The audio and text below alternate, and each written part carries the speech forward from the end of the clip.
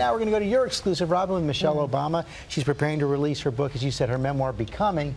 And boy, eh, in the book and also in this interview with you, she really digs deep. She is extremely revealing. She does not hold back. She's been in the public eye for more than a decade and very open, honest. Now she's sharing personal stories about everything from her struggles to getting pregnant to how she and her husband worked through challenges in their marriage. In her book, Michelle Obama calls this part of her story Becoming Us, about the meeting and marriage that would transform the trajectory of her life and challenge her in ways she would never expect. You ready to talk about Barack? Who? You ready to talk about? While their mutual affection has always been on display, now for the first time, Michelle is opening up about parts of their marriage she held deeply private for years. First, infertility. She writes, it turns out that even two committed go getters with a deep love and robust work ethic can't will themselves into being pregnant. She did get pregnant, but then weeks later, she miscarried. I felt lost and alone, and I feel I felt like I failed because I didn't know how common miscarriages were because we don't talk about it. We sit in our own pain thinking that somehow we're broken. She reveals that it was with the help of infertility treatments that Malia and then Sasha were finally conceived.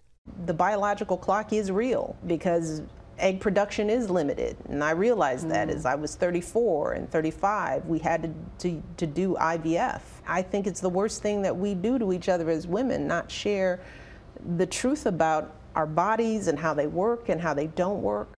And for the first time, she shares details about how the stress of their hectic schedules infiltrated their marriage. You write about at one point in your marriage mm-hmm. that you and Barack went to marriage counseling. Mm-hmm. Why did you think it was important to share that?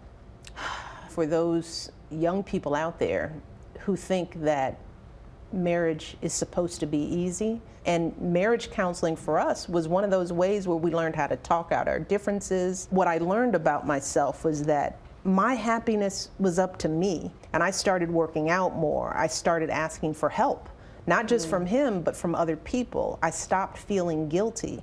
It's important for me to take care of myself. That's not on Barack. I know too many young couples who struggle and think that somehow there's something wrong with them. And I want them to know that Michelle and Barack Obama, who have a phenomenal marriage and who love each other, we, we work on our marriage and we get help with our marriage when we need it. Wow. Again, she was very insightful, uh, very revealing, um, sharing stories that she has never done before. And it wasn't just limited to that. It can't be easy to talk about marriage counseling there. No, and I asked her, like, you know, why did she want to do that? And you heard what she said, because she really feels, because you see her now, you know, dancing and happy and the kids and all that. And she said it's so important. And she feels that, you know, our stories, all of our stories, uh, unite us. And it's very important to, uh, to be open and to let people in and to see what their lives are, are really like. And you, but you've interviewed her quite a few times over the years. Mm -hmm. Have, is there a change since she's left the White House two years ago? No. Well, uh, there is a change because now she was Mrs. Obama in the White House. She's Michelle again, um, now that she's not in the White House and able to freely express herself. But the thing that has always remained the same about her, and we're going to show you something, she surprised her old high school. She went to a dance class there. They weren't expecting her. They didn't know. They thought the cameras were there because we were filming something else. She walked in, and they absolutely erupted in seeing her. And that is that is the thing that's been consistent with her. She really, they, they went on for quite some time, but she really wants to have an impact in young people's lives. That's why a lot of her initiatives when she was First Lady uh, were dealing with children and trying to, to do away with childhood obesity and such. But she, it was totally unscripted that she was there. It was only supposed to get in and out. She spent a, a, an excessive amount of time and uh, the way the, the young people uh, responded to her. And she said, you don't have to be in politics to be of service to others. And she does touch upon politics say, in the book. She's been staying out of the political fray, but in the book, she's she has some words for there. President Trump. I want to put up something on the screen mm -hmm. uh, right now. And of course, he was propagating the, the whole birther issue, and she wrote, What if someone with an unstable mind loaded a gun, drove to Washington? What if that person went looking for our girls? Donald Trump, with his loud and reckless innuendos, was putting my family's safety at risk, and for this, I would never forgive him. Because the rhetoric, because of the mistruths, because of the lies that he was saying about the birther situation. That was not true. Um, she's a mama bear. Um, maybe that's Michelle now. Sorry Um, about that. was It's actually, to- no. She's- I actually, or I, I actually have. somebody A, no, I have an excuse. My wife had surgery yesterday, so I have kept Oh, the phone on. But she's oh. doing great. Oh, is she's she? doing very well. Yes. Oh my goodness. Okay.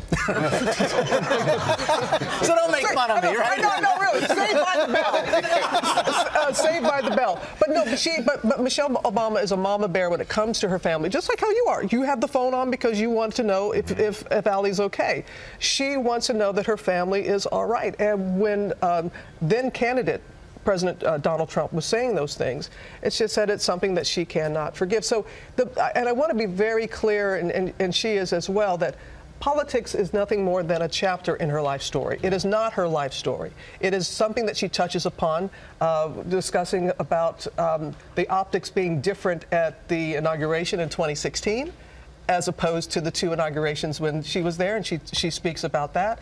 Um, and she is really, I think, also it's going to be surprising to a lot of people, her candor in discussing how people um, underestimated her, uh, doubted her, but also her level of honesty and her self doubt. Throughout the book, she kept saying, Am I good enough? Am I good enough? And that's something as Even in a the woman, White House? even in the White House, and even in the White, and, and now, and, and that is something. There are a lot of times that there are going to be women that are going to be reading or watching the special on Sunday and nodding along.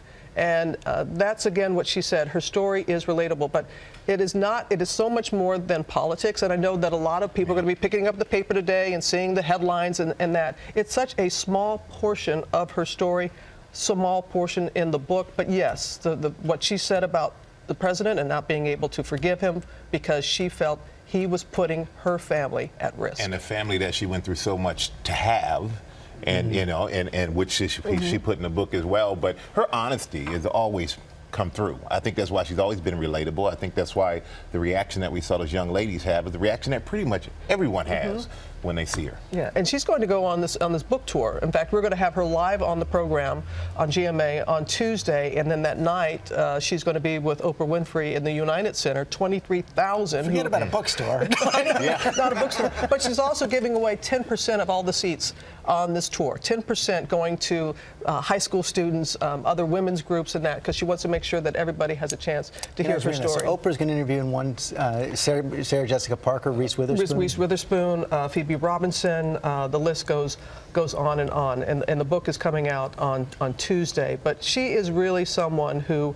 Um, she just has. She just. I, I, can't. I can't stress this enough. That she feels that our stories unite us, and that it hers is the American story. And, and you'll see that when you when you read her book and you see the special tonight. Book is Sunday. Tuesday. The special is on Sunday night. Becoming Michelle, First Lady's Journey with Robin Roberts. That's Sunday at 8, 7 Central, right here on ABC. Now call Allie back, okay? Actually, that was Call her her back. doctor. Okay. okay.